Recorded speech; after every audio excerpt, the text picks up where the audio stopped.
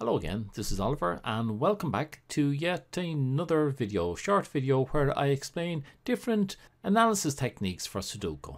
If you like my videos, be sure and give me the thumbs up and you might think of subscribing as well, be greatly appreciated. In this analysis technique, we're looking at either rows or columns where there are four or fewer occurrences of the possible. And to make it a little bit clearer because it can get very confusing when we're showing all the different possibles there. I've got rid of all the extraneous ones and we're only looking at the possible, the number 2. So moving over now to the columns, this one has got 4 in um, C, F, H and J. Go on to the next one. It lines up on C. It's got an extra one in E. F, uh, F doesn't line up three, we have one, uh, we just have two. Here we've got one. Okay, so going on column one doesn't make sense. We try column two. It has C, E, G, and J. Column three lines up on E and J, two. Four lines up on J. Five, six, seven lines up on E and J. Uh, that gives us four of them. Go on those. We're going to go in columns two, three, four, and seven. So our bases are columns. And we're going to be deleting then on C's. There'll be nothing on this. There'll be this one on the C. We'll be deleting on C.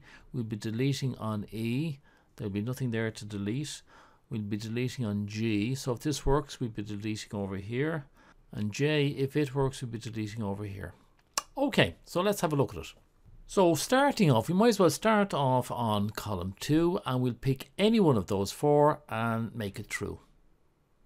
So the theory is you start off with 4. So in the first column you have a choice, or in any one column that you pick, you have a choice of 4, you pick 1.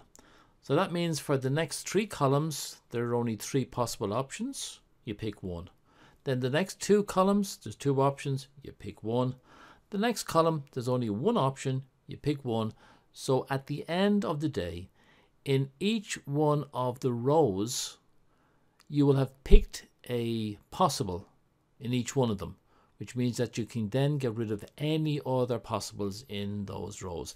Now, if you'd like to go back to um, it was rows columns triple. Have a look at that. That gives a good uh, description of how this works. So we'll do it now as an example. We can start at any point at all. I'm going to start up here. So just suppose I start here and I put a 2 in there. Now in the next one, as it turns out, there's only three places I can do it. Just suppose I put it there.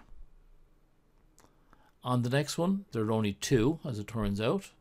And suppose I put it here and then in the last one it goes in here. So looking at it now there's a 2 in each one of the rows. Let's go back on that now. We'll try it a different way.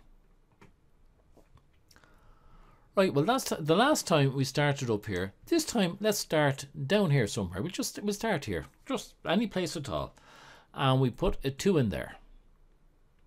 When we come to the next one we can put a 2 in here Next one, we've those two taken, so we put a 2 in here.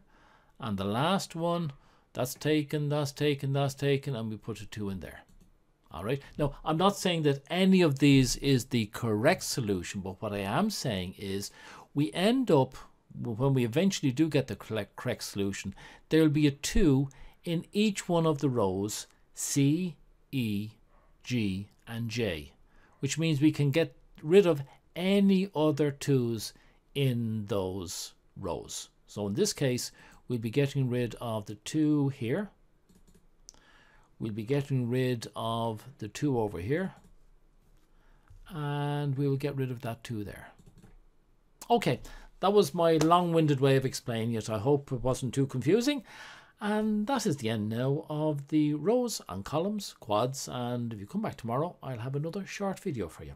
Till then, Oh, don't forget to subscribe if you can, and Slán Tamil.